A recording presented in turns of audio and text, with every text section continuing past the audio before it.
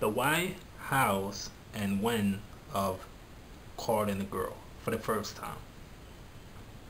Calling a girl for the first time is very nerve-wracking, and any guy can attest to this. It's a it's akin to jumping in a, a the cold shower in the middle of the winter. That's how it is when having to have to call a girl for the first time. So let's deal with why. Why should I call a girl? Opposed to texting. Number one, you can't really transfer emotions through text, but you could through words.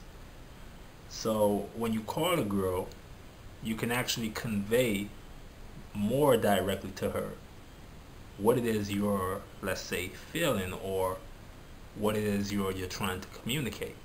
So through text, a girl can pretty much get your text message. okay, cool. Kenny, discarded. It's just um going down the drain. When you're on the phone with a girl, she can't just ignore what the fuck you're saying. She would have to hear it. She would have to either let it sink in or deal with, with the fact that you're you're actually communicating with her. So that's why it's advantageous to actually call over text. I'm not I'm not saying this is the the rule all of the time, but eventually you will have to call the girl. Most times, 99% of the times, if you're trying to get into a girl's pants, you're trying to get her on a date, 99% of the times you will have to call her eventually before the date, before hooking up. It's just the rule. It's just how it is. All right, now, when should you call the girl? This is another important one that lots of guys fumble. You don't want to call at any crazy time, any stupid times. I know a lot of guys in the past who've um, made this common mistake of, let's say, calling the girl for the first time at 11 p.m. I mean, what the fuck could possibly be going through your head to call a girl at 11 p.m.? Some guys even call girls at 4 a.m. I remember a crazy little thing, uh, and this is this actually goes to show how crazy it is. I was talking to a girl a few months ago, eating and shit, and she had mentioned to me that a guy had called her at 4 in the fucking morning the other day. 4 a.m and the dude was so nonchalant about it. He was so like like blasé and chilled about it. Like this is normal. He woke the fucking girl up. So that is crazy. You don't want to be calling at any crazy time. This is my rule when it comes to it. I call girls between 11 a.m. and 8.30 p.m. That's it. 11 a.m., 8.30 p.m. That's usually the best time when in the evenings or, or let's say even better 6 p.m 6 o'clock in the evening is, i find is the best time when a girl usually you know wants to relate. But and it sort of depends on where you're at on the globe. Because how can i put this? American girls are pretty lazy.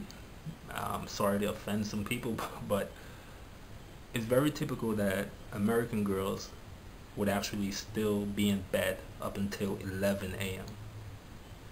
And that's just ridiculous. Girls in the Caribbean are usually up at 4.30 a.m., 5 a.m. It's very rare that you'll hear a case of a, a girl in the Caribbean islands being in bed at 8 a.m. 8 a.m. That's pretty rare for a girl in the islands. So it sort of depends on where you're at and you would you would notice. So if you're in, let's say New York somewhere, and it's the weekend, you don't want to call a girl at 11 a.m. because most likely she's still in bed, just got up, still groggy. So you want to wait until, let's say the evening, or call her between 1 p.m. and let's say 7 p.m. That's the ideal time to make the first call.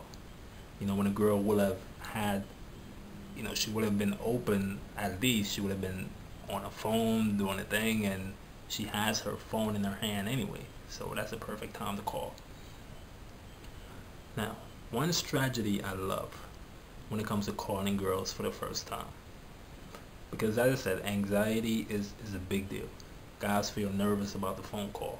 The first phone call, that is. To alleviate this, what I usually do, well in the past, is I would phone a friend. I would phone a buddy, a wing, a guy friend, whatever. Or even a girl who I chat good with, you know, and we talk a lot of shit. So I would phone her and you know, we'd just talk some random shit. And it's usually a lively conversations just to build my state. It's just to pump my state, my energy, my spirit, whatever. So that's what you want to do. You want to get your energy up before you call the girl whom you're intended to call for the first time.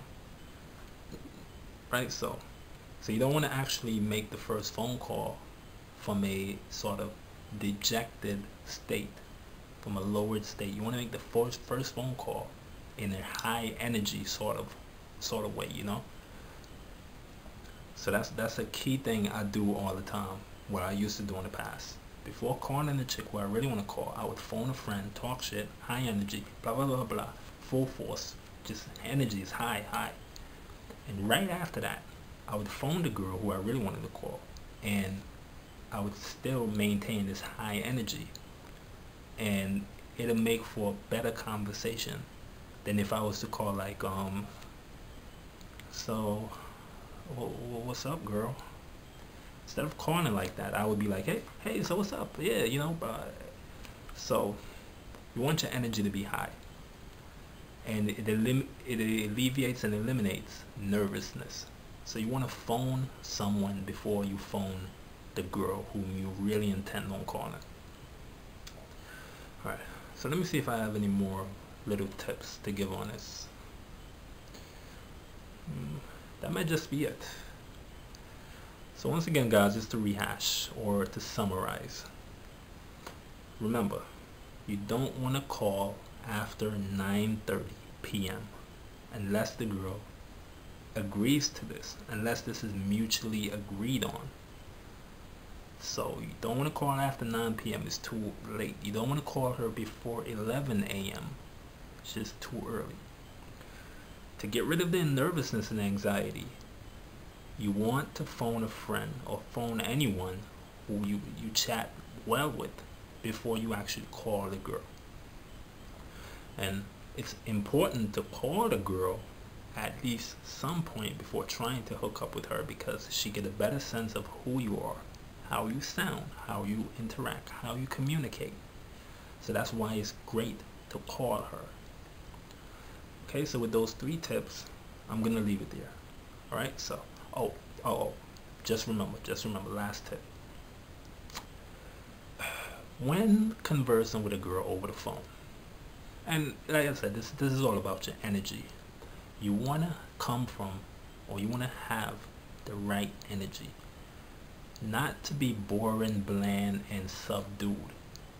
Okay, you want to be lively. For the first conversation, this initial convo, you want to be lively. You want to have good spirits and don't stay on the on the phone for an hour. Not even two minutes. You pump her state her energy for two minutes a minute and a half.